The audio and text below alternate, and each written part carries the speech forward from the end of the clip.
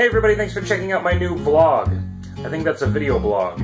Uh, this is a web series called Comics I've Made, Comics I'm Reading. All about the comics I've made and the comics I'm reading. Let's start with one of the comics I've just made, Amazing Arizona Comics number 10. Amazing Arizona Comics satirizes Arizona current events and history with superhero adventure. In issue number 10, North Korea's Kim Jong un hacks Speed Cameron to sabotage the Super Bowl and kidnap halftime show starlet Katy Perry.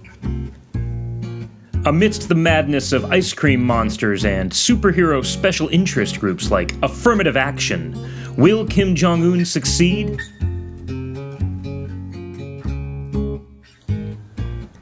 That's a comic I just made.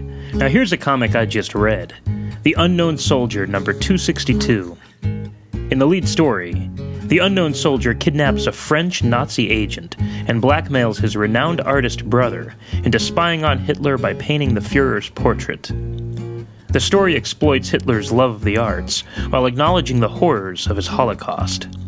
It's the kind of ripped from reality comics tale that inspires my own work, with an unconventional ending that you really need to read to believe. There it is, folks. It's all in the name of the series a comic I've just made and a comic I've just read. If you dig it, leave a comment below. Oh, I think vloggers usually point uh, to the comment section to break the fourth wall and seem more personable. You can leave a comment right there if you dig it, and I'll make another one.